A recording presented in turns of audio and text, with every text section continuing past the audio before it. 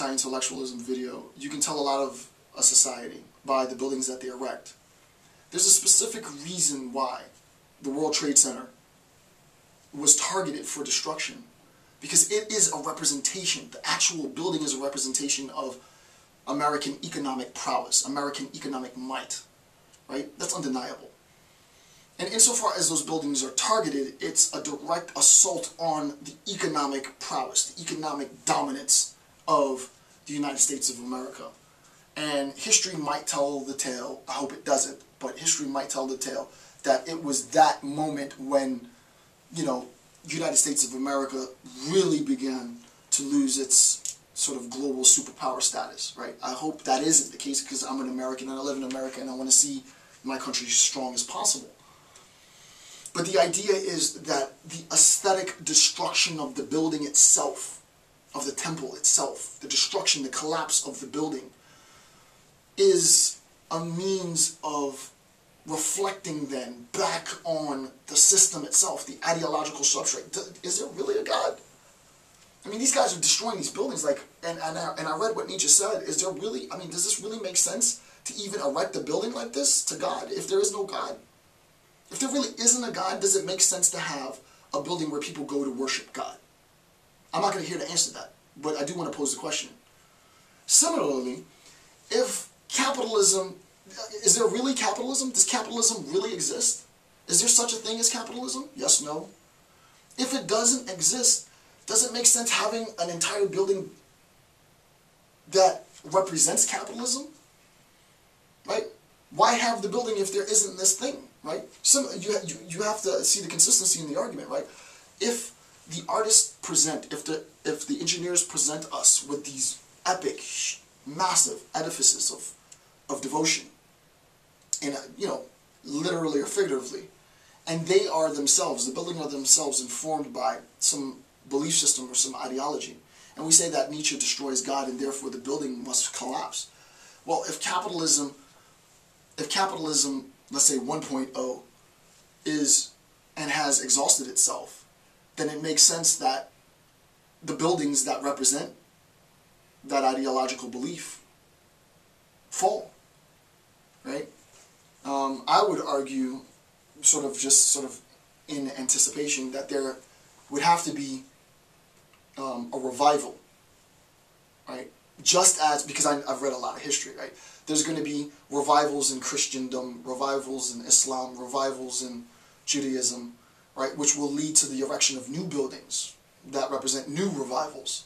And I would argue similarly on purely an aesthetic recognition of the structure of the building and the relationship between the emotional aesthetic, the, the, the experience of the building, that the collapse of that building, you know, might lead in a good sense, in good in terms of good for America, maybe bad for others, but in the erection of a new building, a revival of our economy. Not in terms of capital and GDP, but a, a, real revival in the way in which we conceptualize capitalism, right? Capitalism 2.0, this new next wave, right? And that might manifest in any number of ways, right?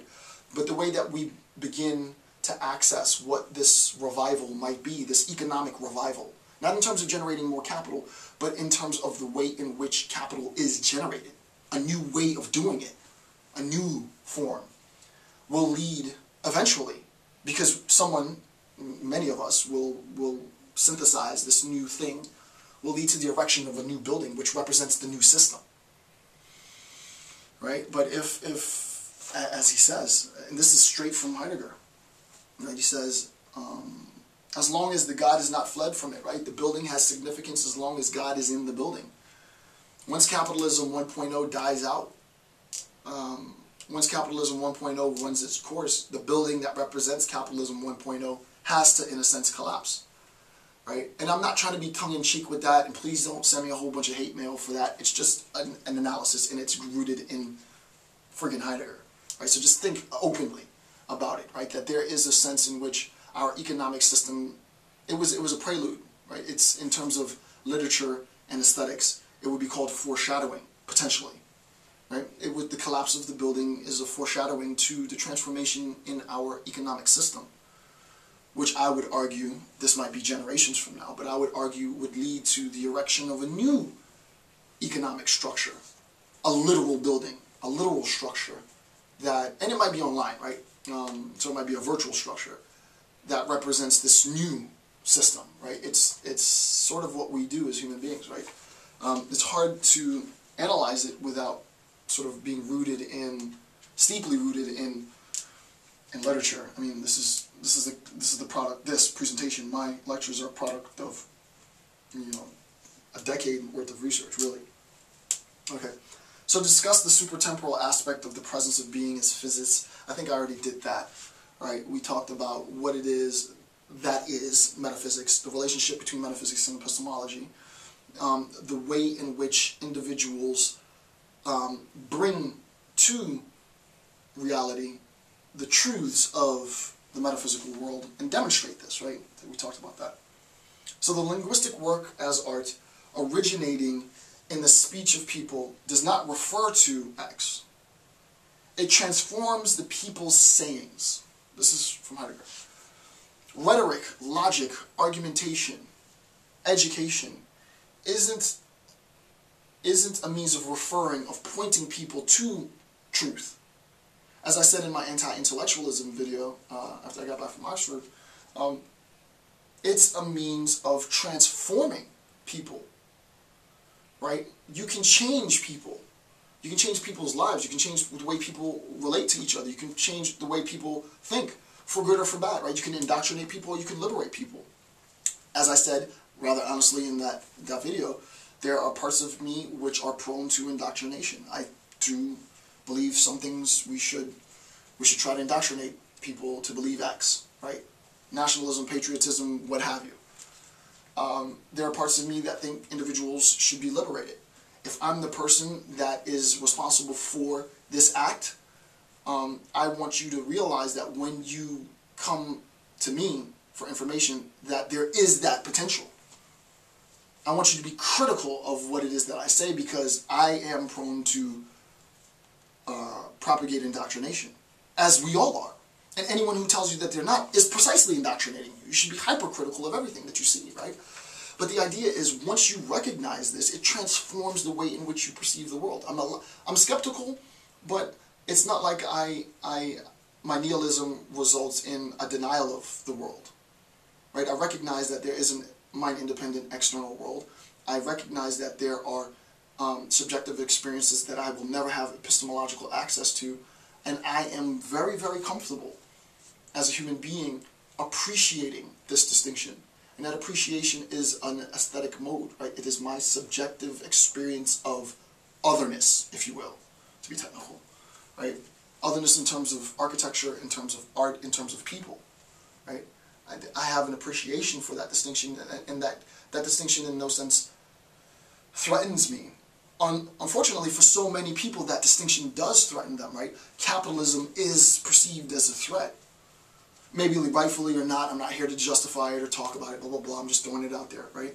Religion is perceived as a threat. Education is perceived as a threat, right? But it's the perception of that threat that really serves as the, the primary foundational role for conflict.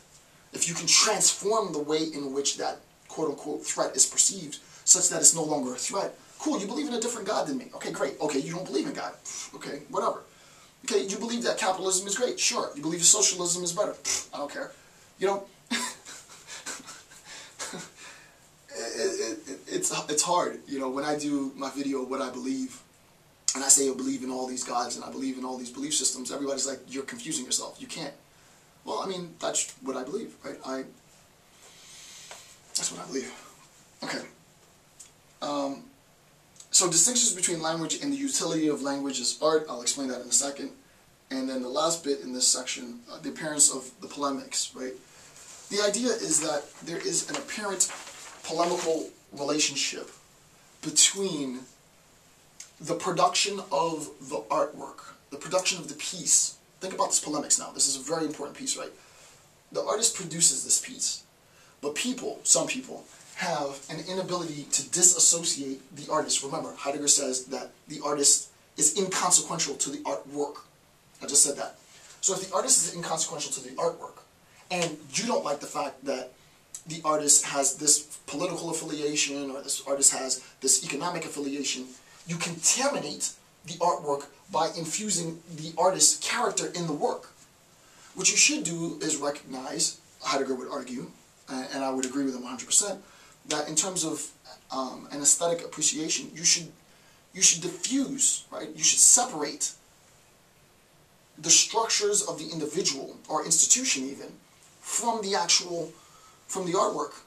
If you look at the the World Trade Towers as the final product of engineering uh, of an engineering marvel and the work that went into the construction of the World Trade Centers and the fact that people traveled from all over the world to New York City to see the, the aesthetic and appreciate the, the, the, the magnitude of the building. It was definitely undeniable and aesthetic.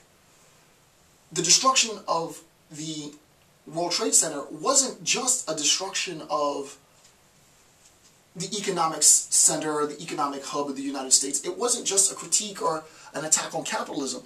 It was an attack on, I hate to say it like this, but it was an attack on an American aesthetic. In the United States of America, this is what we pride. It's not bad or good. We we put our pride in our skyscrapers, right? It's an, it's an attack on an American aesthetic. As Americans, we appreciate this aesthetic. And it could be interpreted as a rejection of, this is a much deeper level, right? But it could be interpreted, the attack, so, uh, September 11th, could be interpreted as, as an attack on the Amer American aesthetic. Americans are gaudy. They're into the biggest, grandiose, huge, monolithic structures, right? This is exactly why Americans carry themselves the way they do. They're so arrogant and massive and overbearing. Right? And I, I think that's really problematic, right? I really think that at its, at a, I wouldn't say as deep its core, but a much, much deeper core, I think that's really problematic because if it is not only the obvious assault on our economic um, magnitude, but also a much deeper level, a much more nuanced and subtle, latent level, an attack on the aesthetic, the American aesthetic, which is interpreted as being overbearing and greed-filled and monolithic. Um, and people would say this is why Americans look the way they do or act the way they do. There might be any ridiculous number of justifications for this. Or I, I shouldn't say ridiculous. There might be some legitimate justifications for this. I apologize for that. There might be some legitimate justifications for this. There's, you know, there is a sense in which the American aesthetic needs to have an opportunity at least. I mean, people can't deny this, right? There has to be a, an opportunity at least to explain why it is that we like this. This is why we like this. It's not necessarily a bad thing. Give us an opportunity to explain why we like the things that we like. It's not that we're trying to be bigger and better than everybody else. It's X. Right? And I'm not here to facilitate that. Well, I guess I am here to facilitate that discussion. That's the whole point of this. But I'm not here to give you the answer to that discussion. So with that, I want to stop here. Um, and thank you for watching my videos. I hope I didn't go too far off on a deep end. But um, I'm Dr. Jason J. Campbell. Thanks for watching my videos. Have a good day.